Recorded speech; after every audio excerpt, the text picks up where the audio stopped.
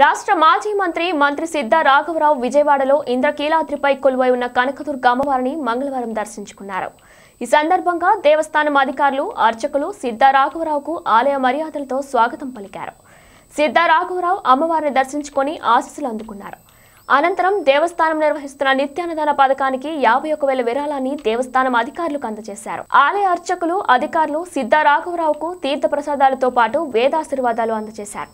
ఇవి బులెటిన్ విశేషాలు state Yoon to స్టావ్యా TV